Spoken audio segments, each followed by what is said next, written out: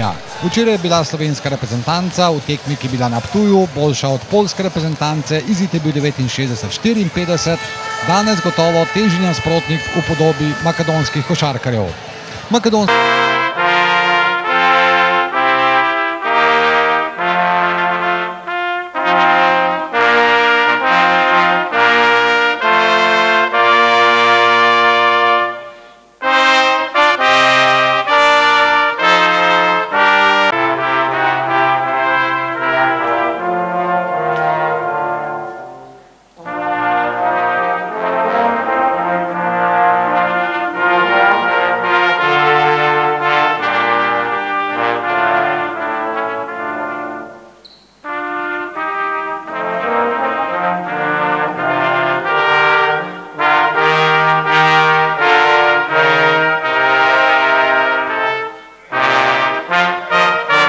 res začetek tekme za prvo žogo, razen Lorbek in Predrag Samarđiski.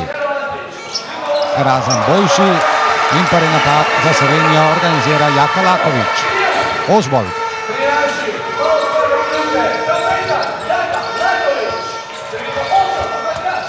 Matjas Modiš, prvič na obroč Makedonije. Tam poskus skoka v napadu Boštjana Malbarja, Stojanovski. Antič. No, to je Antič, kot ga poznamo. Strije. Druga akcija Smodiša, druga je Smodiš uspešen. Prvi točki za Slovenijo. Bil uspel presreči Jaka Lakovič. Dobra obramba zdaj na Ilijevskem in proti napad Lakoviča. Makedonci pa so že postavili obrambo. Ožbolt ima odprt met in Ožbolt zadeva. Trojka Saše Ožbolta. Slovenija vodi 5 proti 3. Tako da včeraj tekmo odprl na ptiču. Dobro se je znašel na konc Modiš. To so tiste prave. Stojanovski. Potisnena žoga proti Antiču, ki se je spet lepo dvignil. Pero Antič. Lakovič in Stojanovski. Lepa akcija Jaka Lakoviča, lepo pod makedonski obroč. Slovenija je tole tekmo začela res zelo, zelo dobro. 9 proti 5 za Slovenijo, spet Antič, ki je zaenkrat dosegel vse točke in dodal tudi novo trojko za Makedonijo. 8 točk Makedoncev, 8 točk Antiča. Tule tudi lepo porisan, kot ste videli, Pero Antič, ki igra v Rusiji, tam kot naš Miha Zupan, ki danes ne igra, torej v Sankt Petersburgu. Prvi poskus zdaj Erasma Lorka, žoga se je skotalila skozi obroč. Dobro, Ilijevski proti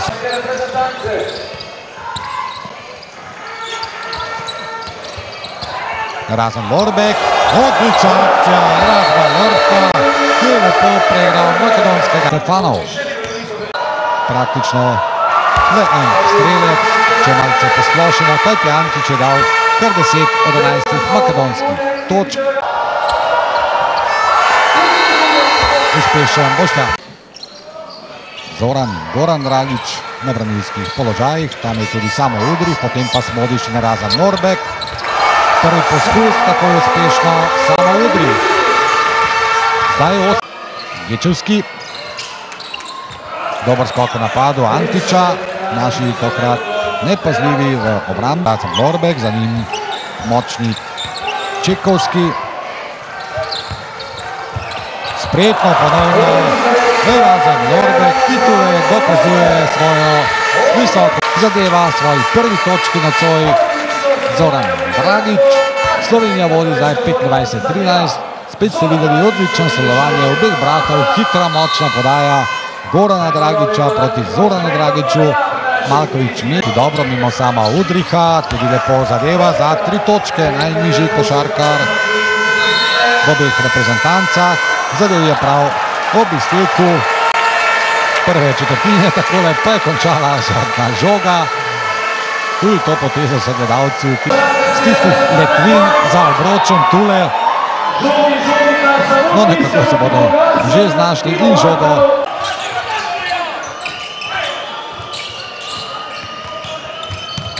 Žoga navzven. Trojka torej za makedonsko reprezentanco. Lakovič. Lepa asistenca Jake Lakoviča proti Merzi. Jagodnik spet ima dober položaj za trojko.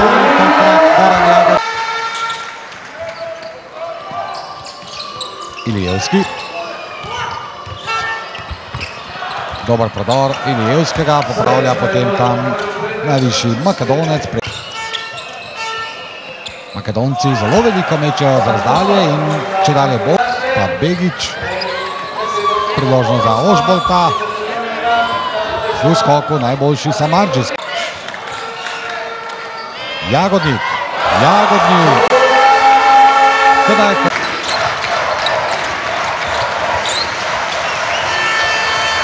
Makedonci dobro dobijo obrambo, naši ima kar precej težav sedaj. Smodiš je dobil žogo blizu področja. Sokolov.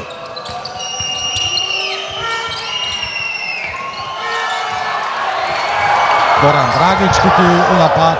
Tam je podaril Jevskega, sedniki se niso oglasili.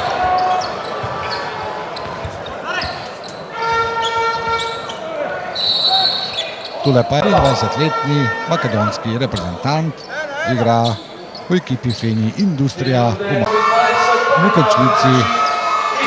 Je bila ekipa Feni Industrija boljša od robotnih.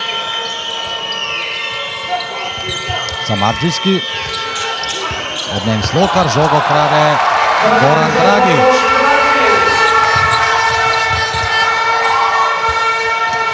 Ožbolt. Slokar, Mahvar. Dobra uporabna žoga, spet Goranu Dragiču, tokrat ni šlo. Že nekaj časa imamo enaki zid. 32-28, dobre tri minute, samo še do konca prvega polčasa. Nikolovski, lepo zadeva Kiril Nikolovski. 34-31, Ilijevski, Antič, Antiča spremlja Matjas Modiš. Z razdalje je lepo, Vlado Ilijevski za dve točke je bilo to, pa podaja tam proti Smodišu. In Matjas Modiš je odlično znašel, potem ko sta bila ob njem že dva visoka makedonska košarka v zadnji minuti prvega polčasa. Slaba podaja Smodiša proti Dragiču. Atraktivno so želeli zaključiti Makedonci.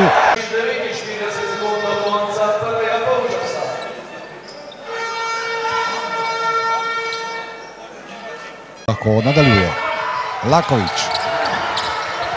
Sam je ostal Matjaš Smodiš, ki zadeva tako kot v najboljših časih za tri točke.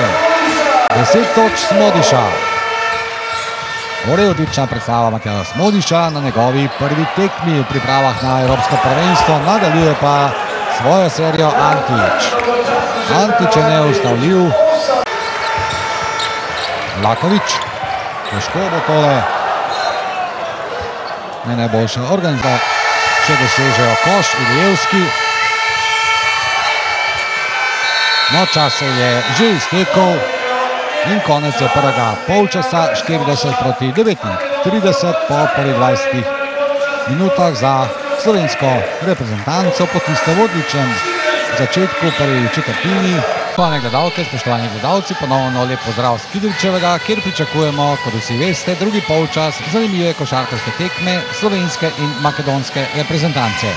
Po prvem polčasu razlike minimalne, 40-39 pa je izid po prvih 20 minutah v korist slovenske reprezentance. Boštjan Nagbar je danes v košarkarjev starih do 20 let. Boštjan Nagbar tule vedno takole zagrizem prav na vsake tekmi za slovensko reprezentanco, nepopustljiv borben, kar velja tudi za vse, ki smo jih danes spremljali v prvem polčasu. Tretja četrtina se medtem pričela in Makedonci začenjajo slogu, v katerem so tudi končali prvi polčas zopet z odličnim metom z razdalje, tokrat je z razdalje zadev Georgi Dragič. Jagodnik vrača strojko, tretja trojka tudi Gorana Jagodnika. Ilijevski, Antič, Stefanov, Stefanov se je prebil skozi našo obrambo, zadev pa ni, proti napad vodi Dragič, prehiter seveda za visokega 10 cm visokega Slokarja. Hiter proti napad tudi Makedoncev. In dobro, Še 10 sekund pa časa za uspešen zaključek. Napad za Slovenijo. Dragič, odličen skok v napadu Slokarja, tudi zadeva štiri njegove točke. Slovenija vodi za tri. Konec tretje minute v tretji četrtini. Dobro bramba naših. Goran Dragič, Jagodnik je spet na trojki. Tokrat ni šlo. Jagodnik je zadev tri trojke v štirih poskusih, torej je imel odličen odstotek 75. Zdaj mislim, da je bil celo na črti, da niso za trojko, kakorkoli napad imajo že Makedonci. Zadeva spet razdalje, odlično. Stojanovski, štiri trojke, Antič, pa Nikolovski in Čekovski, izgubljen napad naših. Neodločen izid imamo, 47-47. Ožbol, to je zdaj priložnost, da Ožbol konča kar sam, tako je. 4-4 v prvem polčasu. Stojanovski. Spet poskus za tri točke in spet uspešno. Makedonci so res pravi ostro strelci. Zdaj se je tečaj četrtič na tekmi se je zgodilo slovenski košarkarjem, da so malce pozabili na uro, tule spet Dejan Zavec, ki ga seveda vsi poznate. Makedonija vodi 50-49. Stefanov. Stojanovski. Makedonci vodijo za točko, dajmo pomagati našim obrambi. Stojanovski in Ožbolt. No, zdaj imajo težave pri organizaciji napada, tudi Makedonci, žoga bo za Slovenijo. Žoga za Slovenijo, za napad Slovenije. Slokar za tri. Slokar za dela. Uro Slokar. Poznamo ga seveda kot košarkarja, ki zna za učinkovit zaključek. Izid je ponovno izenačen. 52-52. Lakovič za tri. Lakovič za tri. Tule je že Darko Sokolov, na klopi odšel Riste Stefanov. Samo Udrih. Lorbek. Lepo. Razen Lorbek, še enkrat več. Ki se predrla mi Slovenci. Lakovič. Žoga na zven, seveda proti Lorku, ki tudi zna zadeti za tri, tokrat Erasmus sicer ni uspelo. Ostaja pri petih točkah razlike. Mirakovski. Antic za tri. Antic velike razdalje. Še enkrat potrebuje za tako odličnega strelca gre. 21 Peta trojka Antiča v šestih poskusih. 12 Makedoncev.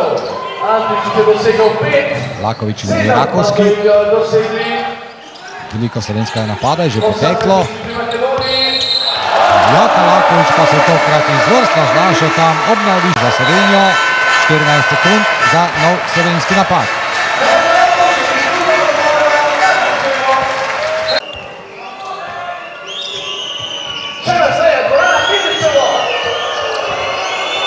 Malo težav ima zdaj Mirakovski, ki je tudi izgubil tole žogo, potem pa je bila tam nešportna osebna napaka Antiče, ki je ustavljal Smodiša, Smodiš Dine.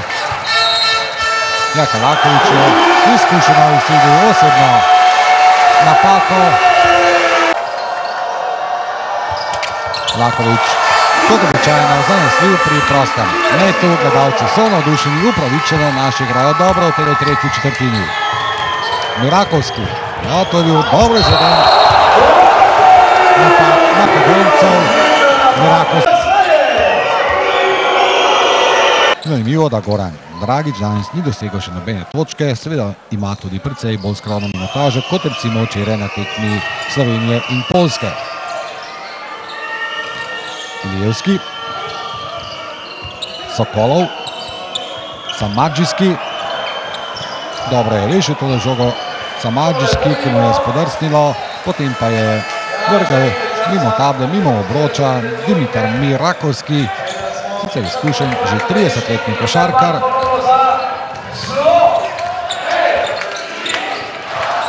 Lakovič, Lorbek, še ena odlična akcija Razma Lorka. Takole je Razan Lorbek neustavljiv za nasprotne centre. 12 njegovih točk, 66, 57.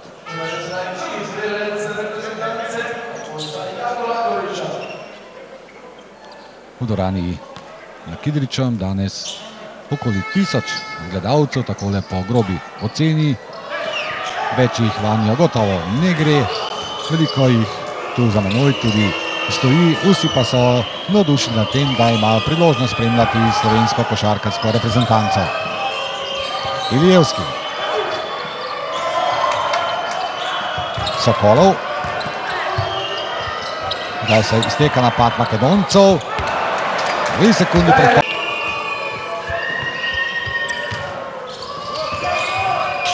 Sokolov. Samaržijski. Zdaj je ostal nepokrit Milakovski, pa drugi zapored. Zgrešil, ostaja torej 66-60. Močan, odločen prodor Gorana Dragiča, nad njim zdaj osebna. Slovenija vodi zdaj nekoliko občutnejšo prednostjo, 70 proti 60 do konca, pa še dobrih 5 minut. Na parket pa bo prišel zdaj Medza Begič, odhaja pa Matjaš Smodič.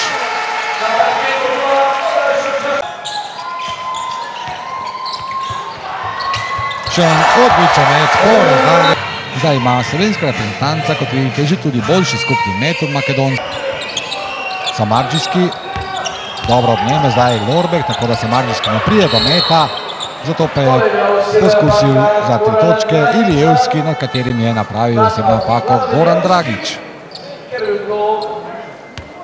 Vlado Ilijevski, danes sicer za tri.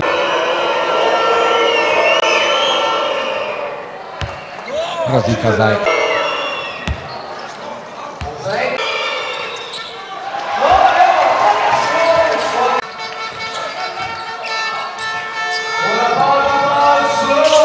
Ožbolt.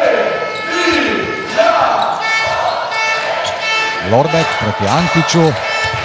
Spet odličen prodor. Razba Lorka. Tudi hitrejši od Antiča. Ki sicer Ilijevski zdaj pri desetih točkah. Metov. 74 proti 64, dobre 4 minute, samo še do konca. Lepa podaja za hrbtom Gorana Dragiča. Lepa poteza še na več. Razba Lorka. Računalno igra tudi Razal Norbek. Zdaj je lepo asistiral. Ni zdaj zadev. 78. Zoran Dragič ima odprt met. Zadeva tudi Zoran Dragič. Zdaj seveda nekoliko lažje za slovenske košarkere imajo prednost, ki bi jim za zanesljivo zmago proti Makedoncem že morala zadostovati. Antič bo spet metal seveda za tri točke uspešnost. Samarđijski. V skoku izvrsten Zoran Dragič.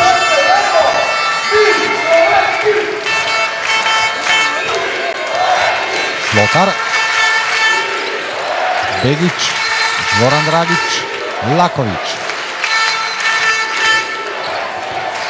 Dobra asistenca Lakoviča, potem pa slab zaključek Mirza Begiča, ki bi moral takšne napade zaključovati bolj odločno. Zdaj pa izvrstna akcija tudi, tudi Čekovski je danes odigral nekaj zelo dobrih minut, 8 točke dal, prosti med pa ima še Antič, zadeva tudi tega, mora biti svoj zadnji napad na tekmi še 6 sekund. Dobro so izpeljali tole, zaključil je Ilijevski, 80, 71. Vse ko prej zadnji napad na tekmi. Gledalci so na nogah, bučno pozdravljajo novo zmago slovenske reprezentance. Koliko pa zaključuje Dragič. Potem, ko se je tekmo ni zadev, je sedaj da seveda mirno sproščeno, zadev tudi on za tri točke in končni izid tekme Slovenija, Makedonija, 83-71. Še ena lepa zmaga slovenskih košarkarjev na začetku priprav za letošnje Evropsko prvenstvo. Makedonci so se danes pokazali kot zelo dobra ekipa, bili so nepopustljivi, tudi slovenski košarkarji so bili najboljši, tudi po zaslugi, tudi v spredju. Erasma Lovka, ki je prvi strelec Slovenije nocoj proti Makedoncem, 20 točk dosegel Erasem Norbek, Po 13 točk sta dodala Jaka Lakovič in Matjaš. Smodiš, pri Makedoncih pa je na vrhu lesice streljcev Pero Antič s 24 točkami. Gledalci v Kivičem so lahko zadovoljni s tem, kar so pokazali slovenski reprezentanti v svoji drugi tekmi. Včeraj zmaga proti Poljakom na Ptuju, danes zmaga proti Makedoncem. In tudi statistika govori, da so bili naši na koncu boljši praktično v vseh elementih, boljši skupni met, več skokov, več podaj in manj izgubljenih. Žog, torej vsi pokazatelji potrjujejo to, da je slovenska reprezentanca v tem trenutku boljša od makedonske in slovenski košarkarji, vsaj v tem trenutku se zdi, so na pravi poti za letošnje Evropsko prvenstvo. Zvedajo kakršnih koli takšnih dokončnih sklepih, v tem trenutku sila, sila prezgodaj govoriti, tudi tiste napake, ki so bile in sedaj prav izpostavljati zanesljivo. Ne gre, ker ti gre za prvi dve pripravljalni tekmi, ekipe niso uigrane, to velja seveda tudi za Polsko, ki je bila sinočni nasprotnik, tudi za Makedonijo, ki je bila nocojšnji nasprotnik, najkoristnejši košarkar tekme, nocoj pa Ukidovčan, razen Lorbek, Titan prejema tudi čestitke svojih igralcev, lepa prava vrnitev Erasma Lorka v slovenski reprezentanco, ne gre pozabiti tudi Matjaja Smodiša, ki včeraj ni igral, pa danes igral prav tako dobro, 13 točk je vsega Matjaja Smodiš in Dejan Zavek, mister simpatikus, tako je simpatično v pogovoru tudi z Goranom Dragičem, tudi on navdušen, tako kot so tudi slovenski košarkari navdušeni, kot zmaguje v ringu Dejan Zavek.